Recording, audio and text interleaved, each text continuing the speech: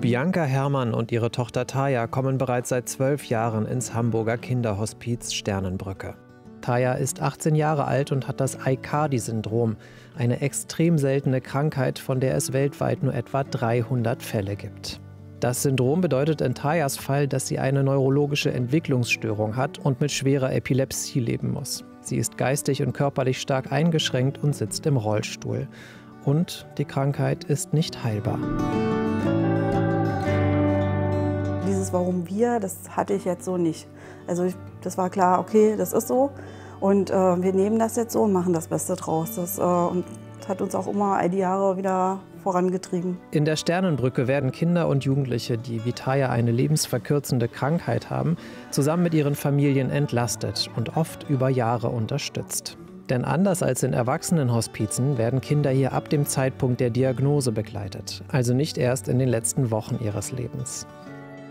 Inzwischen fahren wir nicht mehr einfach so mit Haya im Urlaub, weil sie eine Beatmung nachts braucht und äh, das ist hier dann immer nur noch unsere Auszeit. Das ist äh, für Außenstehende öfters makaber gewesen, wenn es dann hieß, äh, auf Arbeit und äh, wo fahrt ihr in Urlaub hin? Ja, wir fahren ins Kinderhospiz. Äh, dann war immer erstmal so Ruhe im Karton. Die Arbeit der Sternbrücke umfasst eine Menge Bereiche. Neben den verschiedenen Therapieangeboten für die erkrankten Kinder, einem Ärzteteam und den verschiedenen Begleitangeboten für die Eltern ist eine große Säule im Hospiz das Angebot für die Geschwisterkinder.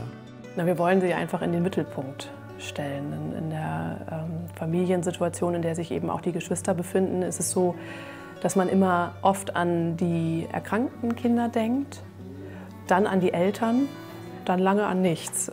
Und dass sie eben auch betroffen sind. Dieses ganze neue Leben bringt ähm, ganz viel mit sich, wo sie einfach auch mitschwingen müssen.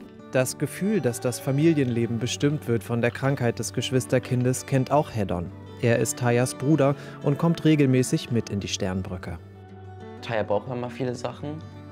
Und wenn Taya krank wird, das wird, ist manchmal schon richtig heftig, äh, dann machen sich halt alle bei uns Sorgen. Und sowas müssen halt, glaube ich, welche ohne behinderte Schwester jetzt nicht machen. Aber das ist jetzt auch nicht richtig schlimm, ist nur manchmal ein bisschen blöd. Das Kinder- und Jugendhospiz Sternbrücke ist für alle ein besonderer Ort. Ein lebendiger, freudiger Ort, obwohl es hier immer auch ums Sterben geht.